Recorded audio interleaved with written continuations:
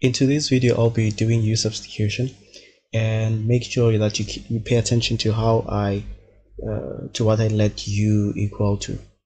And by the end of this video you should be able to do uh, a lot of different types of questions based on that, that may require you to use u substitution.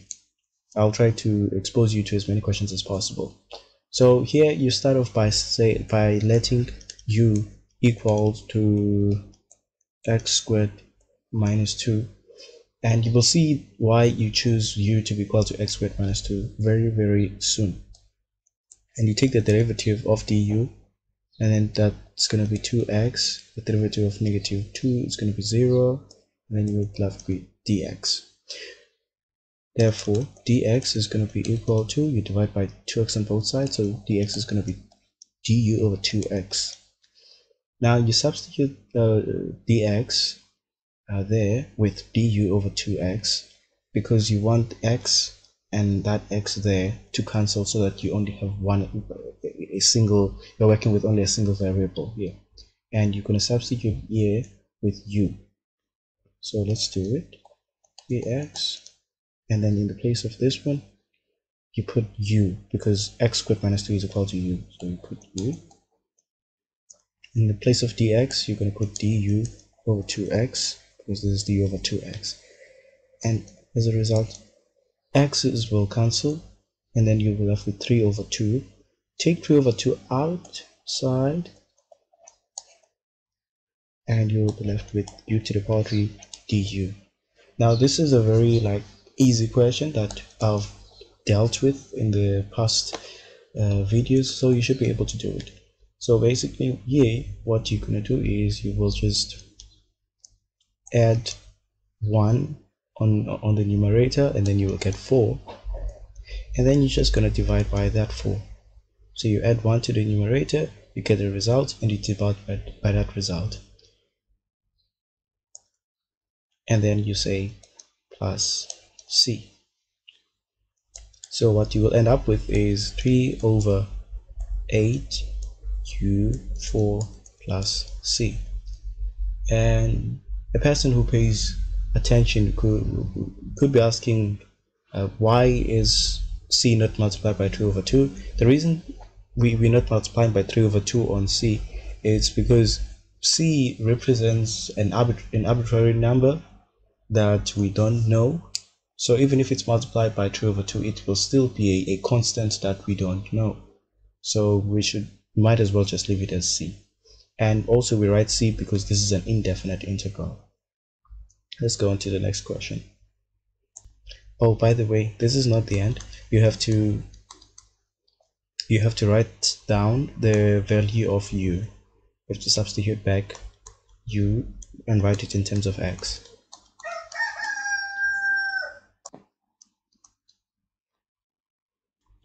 Okay here's another problem. Go ahead and try to solve it if you can.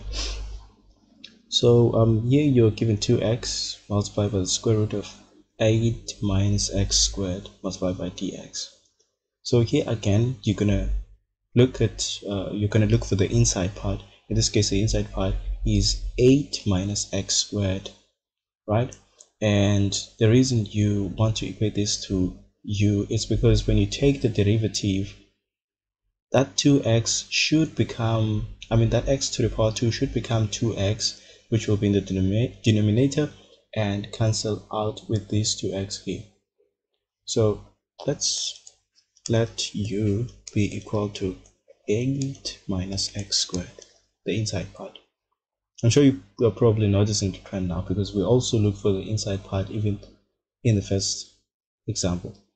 So du is going to be equal to this 0 minus 2x dx and therefore dx is going to be equal to du over negative 2x. Now we substitute everything.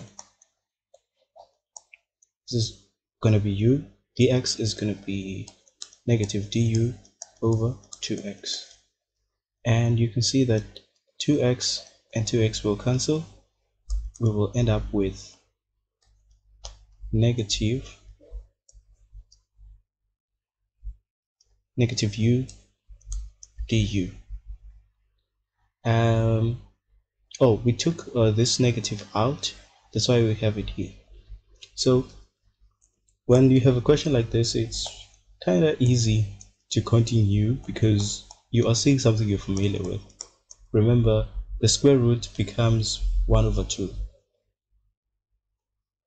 if you are given something like this and that's there was a one there even though it's not written of course. The numerator I mean 1 becomes the numerator and that 2 outside representing the root becomes the denominator. So if you had something like this it would become 5 over 3 okay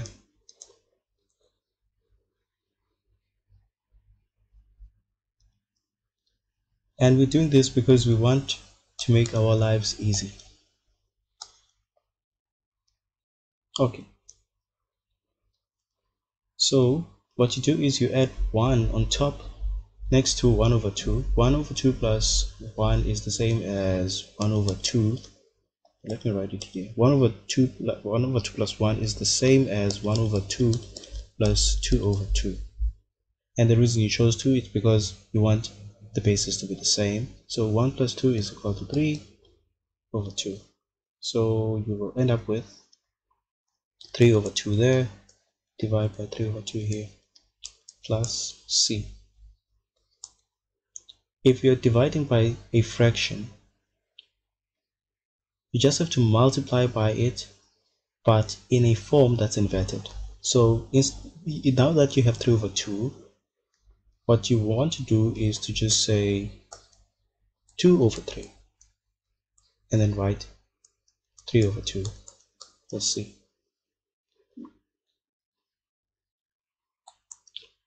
So even if, if for example you had 1 over 5 this would become 5 over 1 multiplied by u. So you invert the fraction and multiply by it okay so this is going to be 2 over 3 and then u u is 8 minus x squared because we have to write everything in terms of x squared as the question was given using x. And this is how your final answer will look.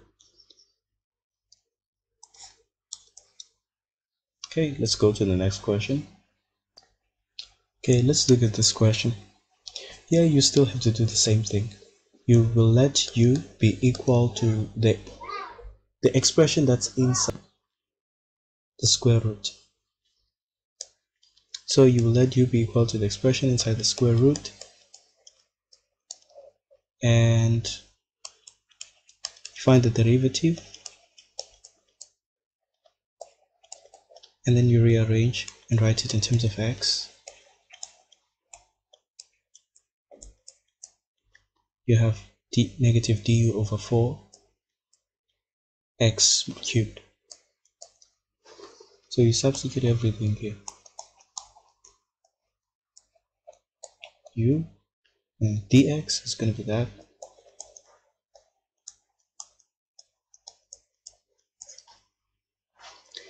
And x cubed and x cubed will cancel and then you're going to take out the negative and then you will have 1 over u du this is easier to work with. We've done a lot of examples similar to this one in the past. It's a matter of manipulation. So you know that um, you know that this is 1 over 2 square root u is the same as u to the power 1 over 2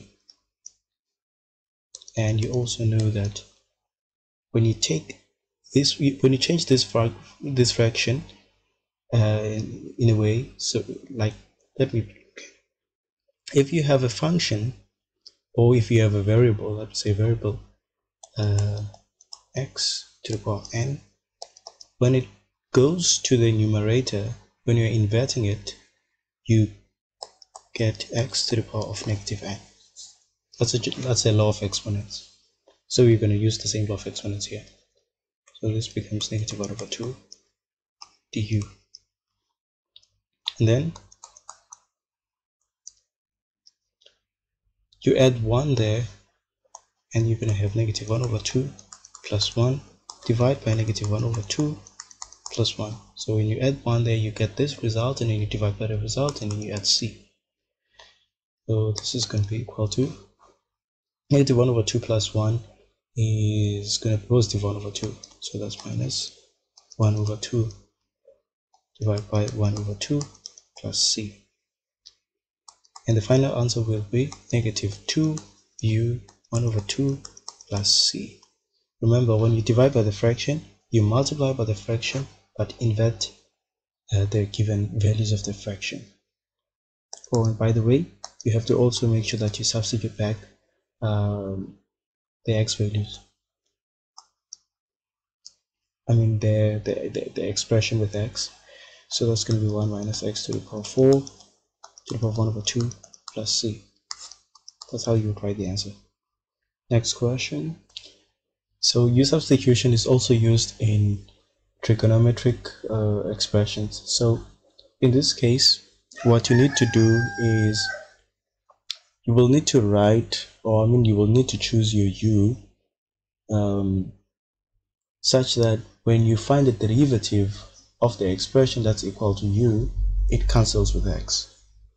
In this case, you would choose cos um, cos to the power 5x but then remember cos to the power 5x is the same as cos x to the power 5 so ba basically the inside part now is cos x. So you say let u be equal to the inside part which is cos x. Therefore du is going to be equal to negative sine x dx. The derivative of cos x is negative sine x.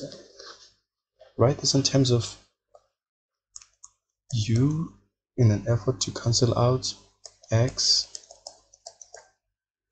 this becomes okay this becomes du over sine x. Because divided by negative sine x on both sides. Now you substitute this value there and then you substitute for u here. You will end up with something like this. u to the power 5 remember u is equal to cos x and then cos x here is u raised to the power 5 and then um, of course this is going to be du over sine x. That's dx.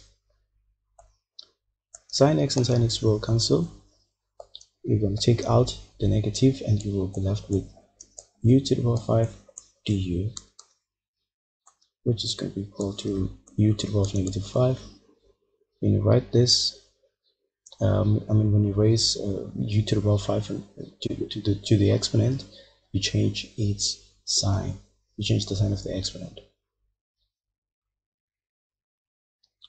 okay wait what did I say here? Oh when you when you raise this expression to the numerator that's what I was supposed to say you change the exponent to a negative. And that's what we have here. And then now it's very easy to work with but you're just going to add one there you're to get negative 4 and you're going to divide by negative 4 plus c you and then you will substitute back. It's up to you if you want to simplify this further like this. Uh, okay 1 over 4u to the power 4 plus c. And then you can just put uh, the values of x here.